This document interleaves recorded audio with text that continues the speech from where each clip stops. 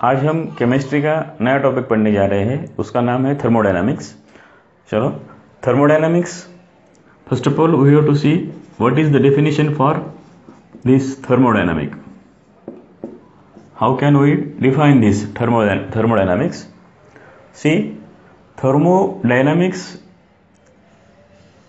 ये जो वर्ड है, इसमें दो वर्ड्स हैं। एक है थर्मल सॉरी थर्मो और दूसरा है डायनेमिक थर्मो इसका अर्थ ऐसा होता है थर्मल एंड डायनामिक माने जो चेंज होता है, जिसमें कंटिन्यूअस जिसमें चेंजेस होते हैं, उसको हम डायनामिक बोलते हैं. तो फिर थर्मल एस थर्मल इसको हम थर्मल माने it is nothing but the heat and heat जो है, एक एनर्जी का फॉर्म है. हीट जो क्या है? एक एनर्जी का फॉर्म है. इंपॉर्टेंट फॉर्म है of course so it is nothing but the we can say one form of energy one form of the energy. So thermodynamic ये ऐसी ब्रांच है, जिस ब्रांच में हम एनर्जी को स्टडी करते हैं and how that energy changes from one form to another form means उसका इंटर कन्वर्जन कैसा होता है एनर्जी का, ये हम थर्मोडाइनमिक्स में पढ़ते हैं. So thermodynamics it is nothing but the it is the branch of science. It is the branch of science which deals with the which deals with the study of energy. Study of energy and its interconversion. Its interconversion इसको हम कहाँ पढ़ते हैं? Thermodynamics में। मतलब हम यहाँ पूरा टॉपिक में हम ये पढ़ने जा रहे हैं कि एनर्जी क्या होती है, इसके डिफरेंट एनर्जी के फॉर्म कौन से होते हैं, और ये एनर्जी का इंटरकन्वर्जन कैसे होता है, इसके रिगार्डिंग में हम थर्मोडायनामिक्स पढ़ते हैं। ओके अगेन फर्दर हमारा टॉपिक में हम पढ़े, पढ़ेंगे specially chemical thermodynamics chemical thermodynamics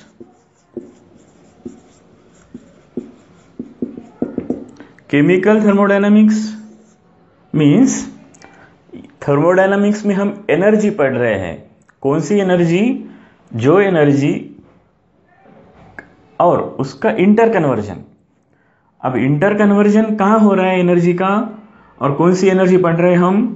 कि ऑल ऐसी एनर्जी कि जो, जिसमें फ़िज़िकल चेंज हो, या फिर और केमिकल चेंज हो। इंटर कन्वर्जन कैसा है उसका? केमिकल चेंज होता है एनर्जी का तो भी, और फ़िज़िकल चेंज होती है तो भी हम उसको थर्मोडायनामिक्स में पढ़ते हैं। Okay so thermodynamics chemical thermodynamics में डिफरेंस क्या है? In chemical thermodynamics we study only the energy involve energy involve in chemical reactions only और we can say chemical change जहाँ पर भी केमिकल चेंज होता है, और ड्यूरिंग दैट केमिकल चेंज जो एनर्जी में केमिकल चेंज होते समय, जो एनर्जी में बदल होता है, उसको हम केमिकल थर्मोडाइनमिक्स में पढ़ते हैं। Because we are dealing with the chemistry okay so therefore chemical thermodynamics को हम ऐसा डिफाइन कर सकते हैं it is the branch of thermodynamics we can define this chemical thermodynamics as it is the branch of thermodynamics it is the branch of thermodynamics okay further इसमें हम क्या study करते हैं energy it is the branch of thermodynamics in which study of energy and its and its study of energy and its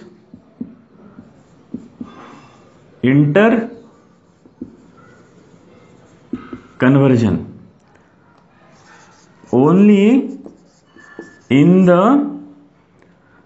chemical reactions only in the chemical reactions means chemical reactions में ही हम उसको, हम जो energy change हो रही है उसी को हम केमिकल थर्मोडाइनमिक्स में पढ़ते हैं okay so these are two definitions okay then next we have to see अब ये थर्मोडाइनमिक्स और केमिकल थर्मोडाइनमिक्स इसको पढ़ने के लिए हमें और कुछ जो छोटे छोटे टर्म्स है, उसको अच्छी तरह से पढ़ना ज़रूरी है ओके तो हम अगले एक दो लेक्चर्स में वो छोटे छोटे जो टर्म्स हैं उसको लेकर पढ़ाई करेंगे, उसको हम ठीक से समझेंगे। अगर उसको ठीक से समझेंगे तो हमें जो हमारा टॉपिक है थर्मोडाइनमिक्स वो अच्छी तरह से समझ में आएगा ओके और ये टॉपिक में हमको समझना ज़रूरी है।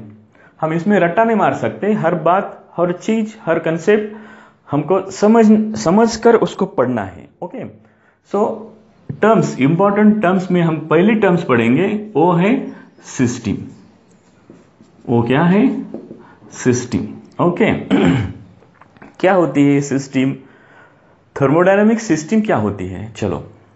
सिस्टम ऐसी कोई चीज़ हो सकती है. सिस्टम एनीथिंग सिस्टम में be anything which is you can say under thermodynamic investigation which is under the thermodynamic investigation मतलब सिस्टम ऐसा कोई पार्ट हो सकता है यूनिवर्स का, जिस, जिसमें हम पढ़ रहे हैं कि एनर्जी कैसे चेंज हो रही है? उसकी एनर्जी क्या है? उससे एनर्जी बाहर जा रही है क्या? उसमें एनर्जी आ रही है क्या? ऐसे सारे बदलाव, ऐसे सारे जो चेंजेस है, जिसमें हम पढ़ेंगे, उसको हम सिस्टम बोलते हैं। ओके सिस्टम में भी एनीथिंग इसको हम भी डस्टर को भी आप सिस्टम बोल सकते हैं। ओके डस्टर भी एक सिस्टम हो सकता है। क्यों?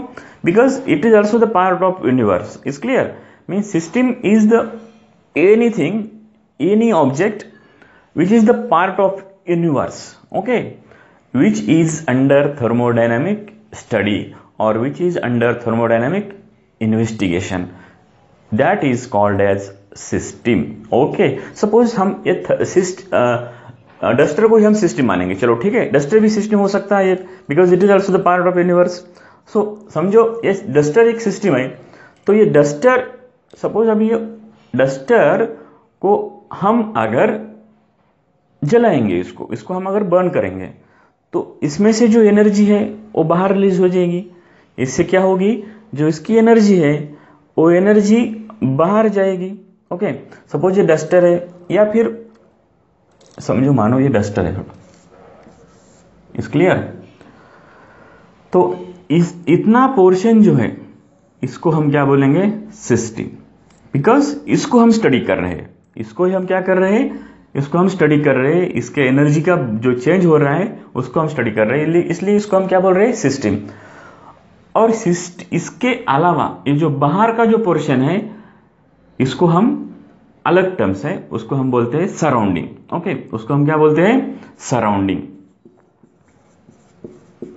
चलो दो टर्म्स हो गए system and surrounding is clear system and surrounding system को छोड़कर उसके बाजू में जो भी है, उसको हम क्या बोलेंगे? उसको हम क्या कहते हैं? सराउंडिंग ठीक है? So system is the part of universe which is under thermodynamic study is clear so अब केमिस्ट्री पढ़ रहे हैं तो केमिस्ट्री में हम सिस्टम किसको कहेंगे? सपोज़ केमिस्ट्री में हम सिस्टम इसको बोलेंगे कि chemical reaction taking place of container in chemistry in chemistry system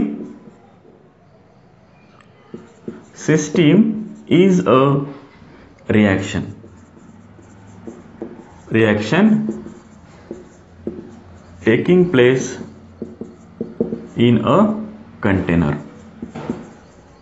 taking place in a container is clear और हम सिस्टम जैसे कि सपोज़ ये कंटेनर है, सपोज़ ये कंटेनर है, इसमें सपोज़ कोई हम रिएक्शन कर रहे हैं तो ये इतना पोर्शन जो है, इसको हम क्या बोलेंगे?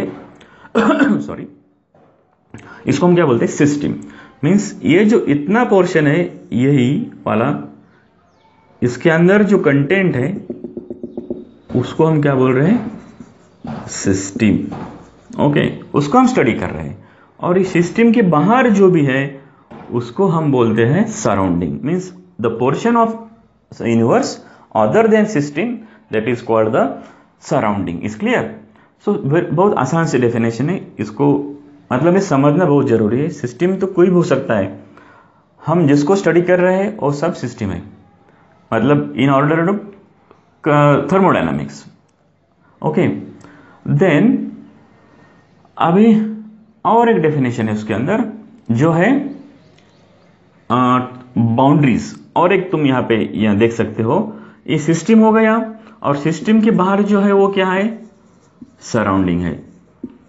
Other than system is called the surrounding is clear other than the system is called surrounding और एक बात आप यहाँ पे देख देख सकते हैं सिस्टम और सराउंडिंग को सेपरेट करने वाला यहाँ पे जो पोर्शन है, उसको हम बोलते हैं बाउंड्रीज उसको हम क्या बोलते हैं? बाउंड्रीज ओके उसको हम क्या बोलते हैं? Boundaries is clear so system और सराउंडिंग को सेपरेट करने वाला जो वॉल होता है that wall is called as the boundaries अब ये बाउंड्रीज समझना बहुत ज़रूरी है. बाउंड्रीज कुछ भी हो सकता है. बाउंड्रीज में भी real boundaries boundaries can be a real or imaginary boundaries can be a real भी हो सकती है बाउंड्रीज और वो इमेजिनरी भी हो सकती है। जैसे कि अभी ये सिस्टम हम देख रहे हैं, जिसमें कंटेनर है कंटेनर के अंदर एक रिएक्शन चल रही है। यहाँ पर कंटेनर का जो वॉल है, उसको हम बोलते हैं बाउंड्रीज और अंदर जो कंटेंट है, ये है सिस्टम इस क्लियर जिसको हम स्टडी कर रहे हैं। In order to in order of thermodynamics is clear लेकिन यहाँ पे हम डस्टर को जो सिस्टम मान रहे थे डस्टर को हम जो सिस्टम मान रहे थे, यहाँ पर आप देख लीजिए कि यहाँ पर बाउंड्रीज ऐसे डायरेक्ट नहीं है। यहाँ पर जैसे ही यहाँ तक तो डस्टर ही है। यहाँ तक तो डस्टर के वॉल ही है। ये पूरा डस्टर है। तो फिर यहाँ पर और डस्टर जैसे ही सम, फिनिश होता है डस्टर के बाद में डायरेक्ट क्या स्टार्ट होता है? सराउंडिंग क्या स्टार्ट होता है? सराउंडिंग मतलब यहाँ पर जो बाउंड्रीज है वो कैसी बाउंड्रीज है? इमेजिनरी बाउंड्रीज है। ये कैसी बाउंड्रीज है? इमेजिनरी बाउंड्रीज है। और यहाँ पर जो बाउंड्रीज है, वो कैसे है रियल बाउंड्रीज है? ये कैसे है? रियल बाउंड्रीज है।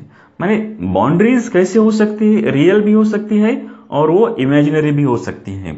इस क्लियर और इसको हम ऐसे बोल सकते हैं। सपोज़ हम एक हम क्या पढ़ रहे हैं? सपोज़ एक पॉन्ड है pond pond which contains the water okay ये पॉन्ड में वाटर है तो वाटर का जो लेवल है, वो जैसे ही खत्म होगा उसके बाद में क्या होगा स्टार्ट सराउंडिंग मतलब यहाँ पर भी बाउंड्रीज है डायरेक्ट नहीं है रियल बाउंड्रीज नहीं यहाँ पर. जैसे ही वाटर लेवल फिनिश होता है, उसके बाद डायरेक्ट क्या है उसको? सराउंडिंग है. मतलब यहाँ पर भी बाउंड्रीज कैसी है? इमेजिनरी बाउंड्रीज है. मतलब बाउंड्रीज रियल भी हो सकती है और बाउंड्रीज कैसे हो सकती है? इमेजिनरी भी हो सकती है. और बात देख लीजिए. Boundaries can be boundaries can be